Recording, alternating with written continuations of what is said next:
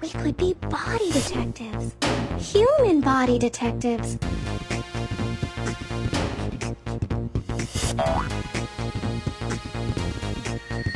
Robbie, yelled Pearl. What did you put in your mouth? He swallowed this penny, and we needed to go in and get it.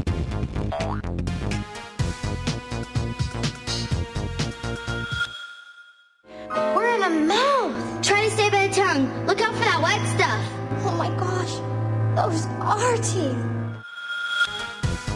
Hold on, Pearl. We're about to go down the esophagus.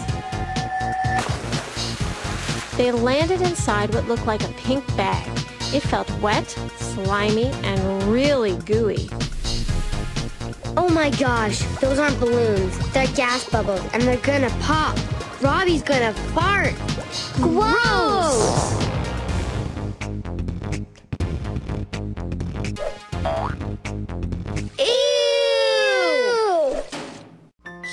Body detectives. The lucky escape from the poopy diaper.